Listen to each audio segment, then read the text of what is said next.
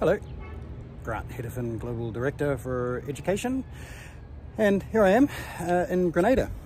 And um, this is uh, Port Louis uh, in Grenada. It's uh, down by the town of St. George's, right at the very bottom of Grenada. And um, we're just finishing up uh, nine days of cruising around in the uh, Grenada and the St. Vincent and Grenadines area. What a fantastic location. Not only is it a great location for vacation training, uh, but also just for chartering. So when I say vacation training, I mean, what you do, come down here and bring an instructor or get one of our instructors and just go through everything that you do during a vacation uh, down here with an instructor and, and you know that's like checking in and checking out of the different countries uh, down here.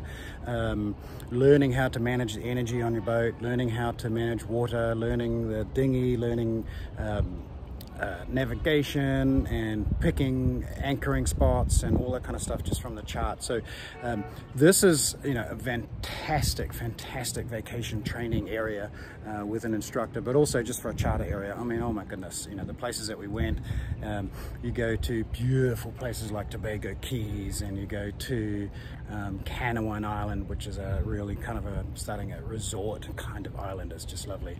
Um, there's uh, Sandy island, which um, is just fantastic. It's just a big long island full of palm trees and, and, um, and just sand. Uh, the snorkeling here is really amazing.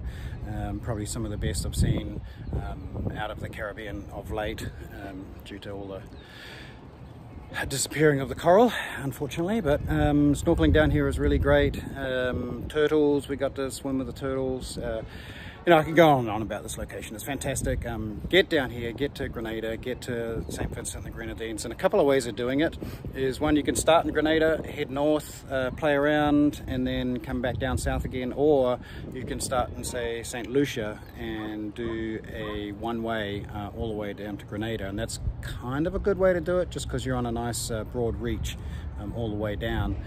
Um, you do have to pay a drop-off fee if you do that, but I kind of tend to think that it's worth it um, to do it that way as well. So um, either way, uh, come to Grenada, come to the Grenadines. It's you're just going to have an amazing time. All right, thanks. Bye.